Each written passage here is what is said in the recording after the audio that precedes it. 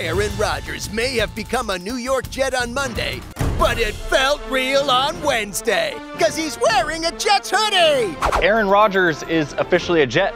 He showed up to the team facility today wearing New York attire, and everybody is super thrilled. Yes, after 18 seasons with the Packers, the four time MVP and two time ayahuasca user has traded in his dark green color for a slightly less green color. It's a big deal. And New York is so excited for this. Because now Aaron gives the Jets a legitimate shot at a Super Bowl. When was the last time New York Jets won the Super Bowl? All the way back in 1969 with Joe Namath. Eight months before I was born. They win a Super Bowl, Charles is born, they never win Yeah, again. is it the Charles curse? 100%.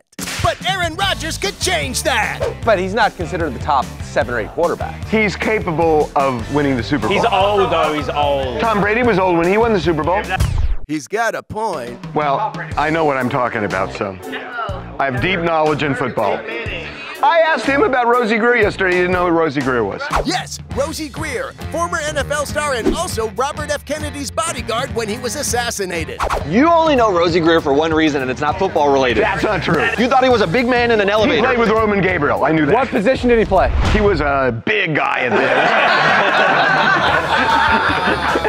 So congrats on the new team, Aaron Rodgers. He hopes you score a lot of slam dunk home run goals this year.